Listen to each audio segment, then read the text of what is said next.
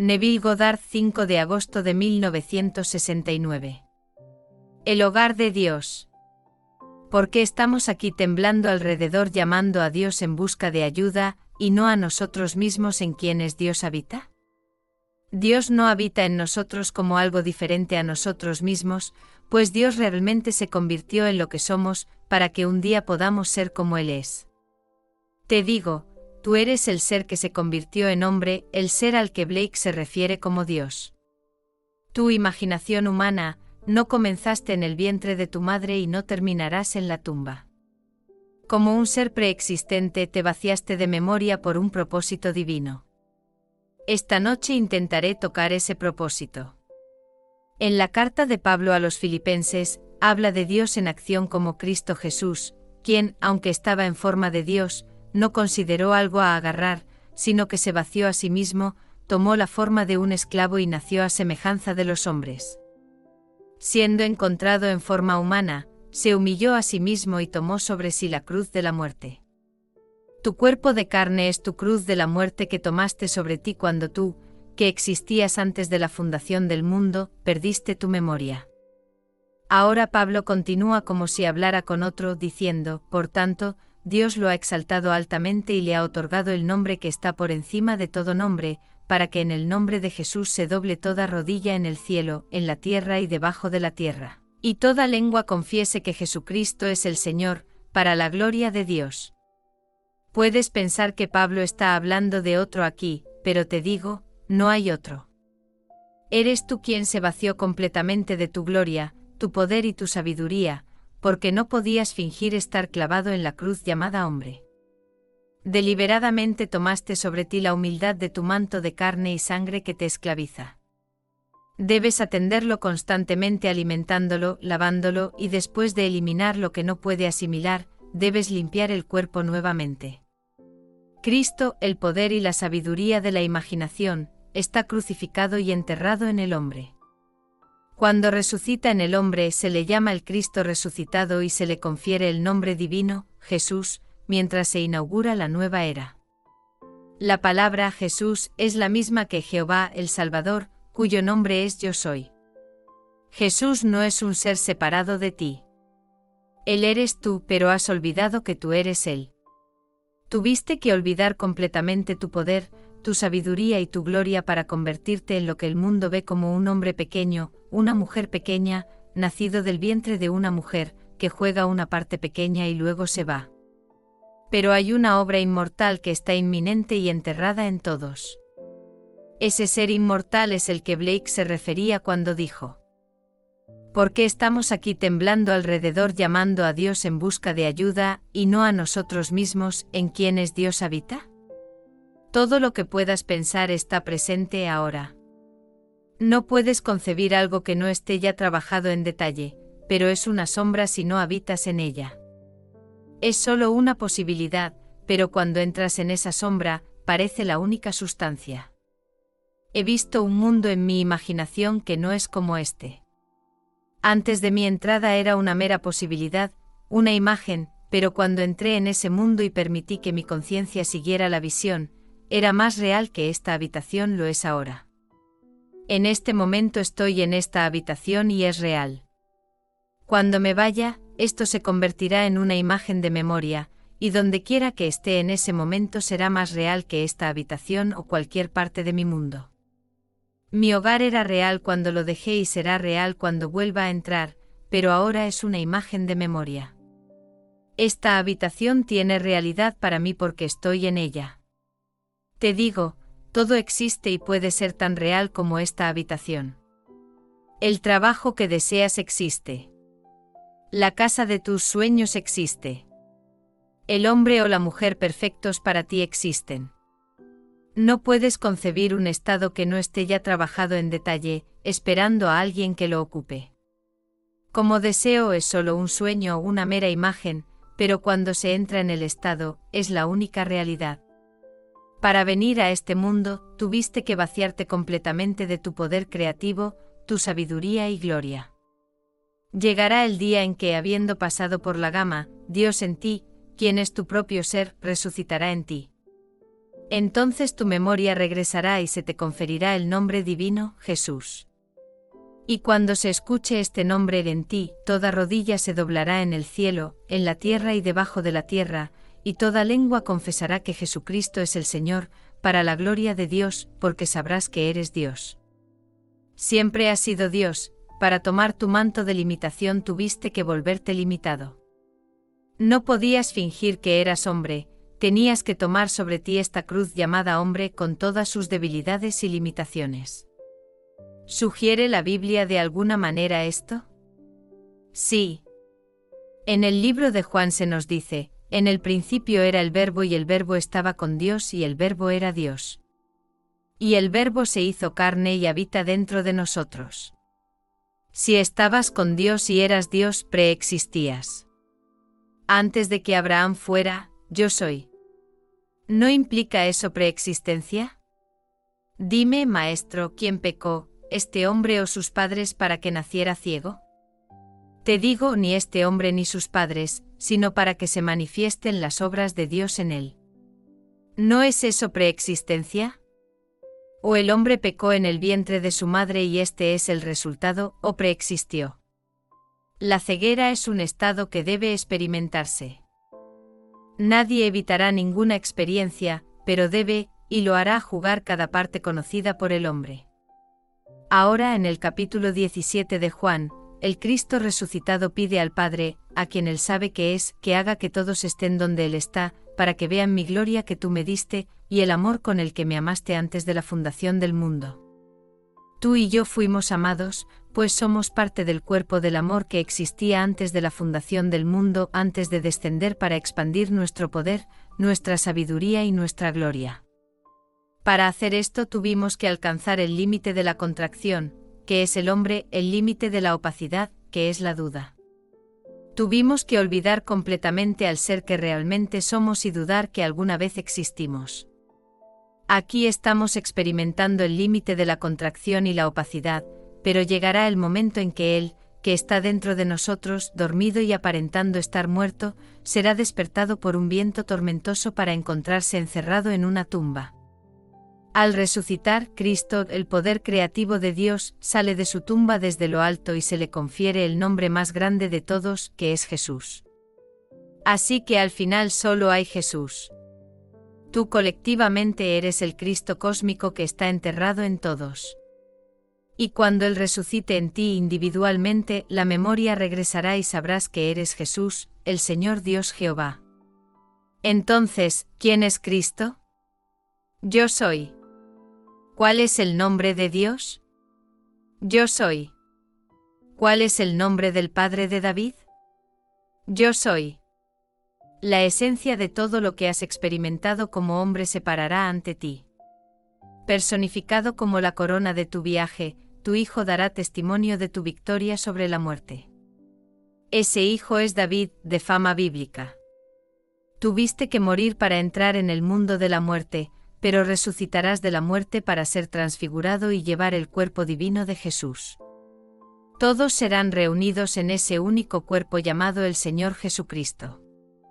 En este mundo las cosas son lo que parecen ser, pero como dijo tan bellamente Blake, Aquellos en la gran eternidad que contemplan la muerte dijeron así, lo que parece ser, es, para aquellos a quienes les parece ser, y es productivo de las más terribles consecuencias para aquellos a quienes les parece ser, incluso de tormentos, desesperación y muerte eterna, pero la misericordia divina va más allá y redime al hombre en el cuerpo de Jesús. Cuando parece que todo está perdido comienzas a despertar dentro de ti. No verás a otro porque el drama ocurre en una experiencia en primera persona, en tiempo presente. Tú eres el Cristo del que se habla en las Escrituras. Tú eres tu propia esperanza de gloria. Jesucristo está en ti como tu imaginación humana, así que ¿por qué llamar a otro en busca de ayuda? ¿Por qué no llamarte a ti mismo en quien habita la imaginación? Te digo, Nunca hubo otro Jesucristo que no sea aquel que habita en ti como tu conciencia humana. Hace poco una amiga me dijo que le encantaría visitar Noruega, pero sentía que no podía permitírselo. Le sugerí que habitara en Noruega viendo el mundo desde Noruega. No iba a mirar a Noruega desde Los Ángeles, ni a preguntar cómo iba a llegar allí, sino simplemente dormir como si su cama estuviera en Noruega y fuera la única sustancia. Hoy recibí una tarjeta de ella desde Noruega, donde confesó que habitó en el estado como si estuviera allí y recibió una llamada de una oficina de casting solicitándole hacer una película en Noruega. Puedes entrar en cualquier estado, pues todos los estados ya están completados. Todo lo que necesitas hacer es entrar en el estado, para que se transforme de una sombra a la única sustancia. Piensa en tu deseo y es una sombra sin forma. Entra en él y es la única realidad. Te digo, el ser que es consciente de ser tú, ahora, estaba en el principio con Dios y era Dios. Eres el poder, la sabiduría y la gloria de Dios sufriendo de amnesia, pues no podías fingir entrar en este cementerio llamado tierra. Los innumerables cuerpos observados aquí son tumbas que tu presencia inmortal anima. Tu prenda de carne y sangre no podría respirar sin ti, porque tú eres su aliento. Creyendo que eres el cuerpo de carne que animas, no reconoces a tus hermanos cuando ves a otros. Más bien luchas contra los aparentemente otros como si fueran tu enemigo, sin embargo, se te dice en el capítulo 2 de Filipenses, que cada uno de ustedes piense no solo en su propio interés, sino también en los intereses de los demás. Que esta mente esté en ti, la mente que tienes con Cristo Jesús. Es la misma mente. Pablo no podría haberlo dicho mejor. Tu interés debería ser para el interés de todos, porque básicamente todos son uno. Cuando estas prendas finalmente se quiten y reingresemos al único cuerpo que cayó, seremos ese ser glorioso que es el Señor y Padre de todo el viaje. Recibí una carta esta semana de un hombre que compartió una serie de sueños que ocurrieron en una noche. El último es la clave de los sueños. En él vio a un enorme y horrible mono que se aferraba a su espalda. Se sentía sucio y extraño, y cuando comenzó a hacerle el amor, lo arrancó de su espalda, y al hacerlo se despertó. Esta fue una visión perfecta. Vio el símbolo del mal uso de su imaginación creativa. Todos tienen tal morador en su umbral de pensamientos que se alimenta de imaginar algo desagradable. Y todos también tienen el lado complementario como un ser glorioso, angelical, cuya belleza es inconmensurable. Ella es la personificación de cada acto imaginativo encantador que el individuo haya cometido. Un día estarán juntos. Cuando la visión vino a mí, mi simio monstruoso y peludo llamó a mi ser angelical madre. Me molesté tanto. Comencé a golpearlo hasta que me di cuenta de que crecía con mi violencia. Se volvía más fuerte con cada golpe, ya que amaba cada acto violento mío, incluso cuando era contra sí mismo. Entonces me hice un juramento que si tomaba la eternidad redimiría a este ser monstruoso que tenía derecho a vivir. En el momento en que hice el juramento se disolvió sin dejar rastro. Luego la energía que había malgastado regresó a mí. El poder no puede ser desperdiciado. Regresa al que lo usó, o lo mal usó, y al sentir el poder regresar, vi a mi ser angelical brillar como el sol, y desperté.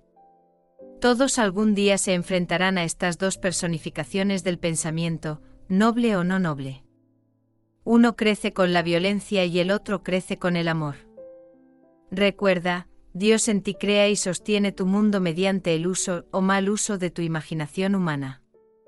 Nunca hubo otro Dios y nunca lo habrá, porque la imaginación es el único Dios. Así que mientras todavía estés despreocupado del Dios que te dio a luz, puedes escuchar la voz del que ha resucitado de la tumba y probarme, como hizo esta señora cumpliendo su deseo de visitar Noruega. Te insto a que no descartes este principio, sino que lo pruebes, porque como te dice Pablo en el capítulo 13 de Segunda de Corintios, Jesucristo está en ti. Pablo sabía lo que quería y entró en el estado que finalmente tomó forma y se volvió real para él. Yo he hecho lo mismo. He ido a mundo tras mundo tras mundo, y cuando entro son la única realidad, mientras mi apartamento donde duerme mi cuerpo físico era solo una sombra. Pero cuando regresé mi apartamento se envolvió a mi alrededor una vez más y tomó los tonos de la realidad, mientras el otro mundo se convirtió en la sombra. En este momento esta habitación es mucho más real para mí que cualquier lugar que haya visitado. Donde estoy, aunque solo sea una imagen, toma sustancia al entrar en ella. Esto puedo hacerlo físicamente o en mi imaginación, y el cuerpo que llevo allí es real.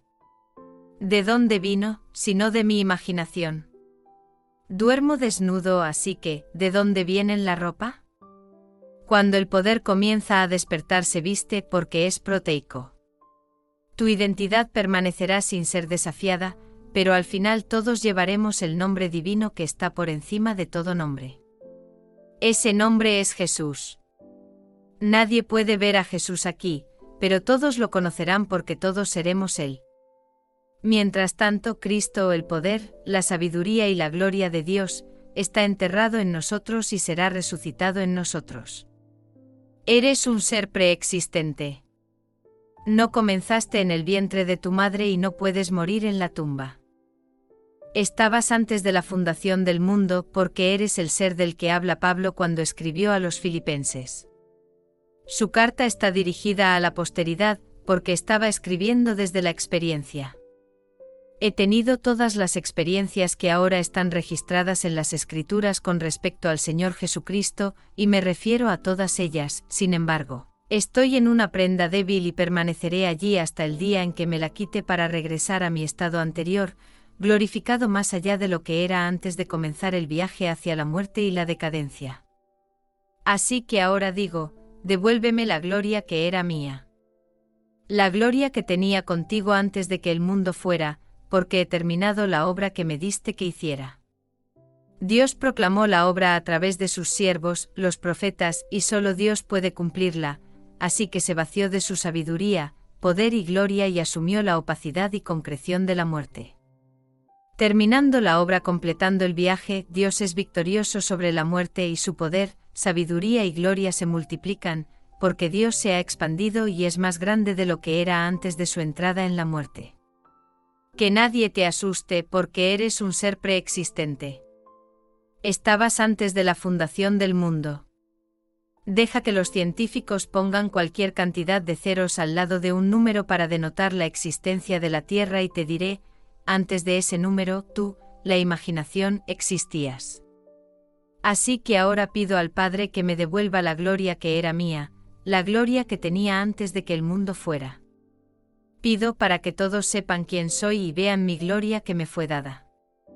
Esa gloria ahora la irradio como el Padre, porque soy su reflejo. Y ahora voy más allá y pido el amor que sabía que era antes de la fundación del mundo.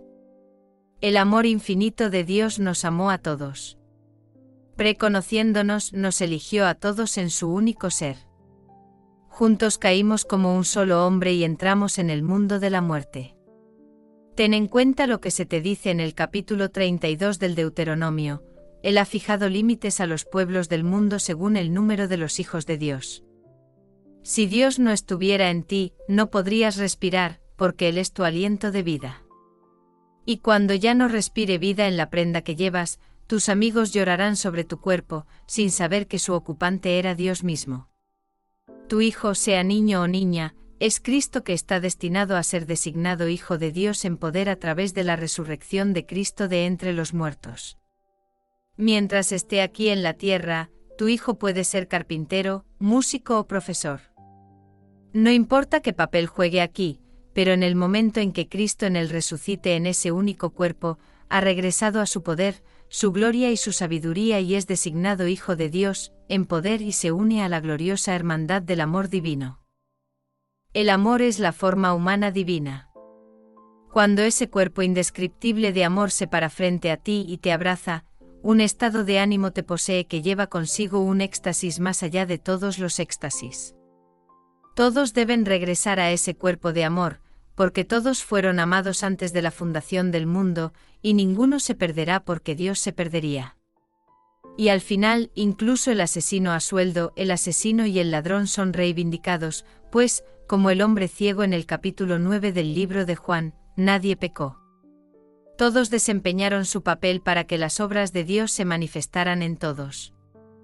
Un día vi cada parte que había interpretado. Cada disfraz que había usado estaba esperando que yo lo redimiera, y al pasar por cada uno, todos se volvían perfectos, porque yo era perfecto. Entonces el coro cantó el último grito en la cruz, está terminado. Ahora permanezco aquí para contar mi historia a todos los que escucharán. Eventualmente todos la escucharán. Partiré y otros recogerán la historia justo donde la dejé. Tendrán experiencias similares, contarán su historia y partirán y otros continuarán desde allí. No esperes una aceptación del 100%. Hay quienes creerán porque usas las escrituras para respaldar tu argumento, y quienes no creerán, pero realmente no importa.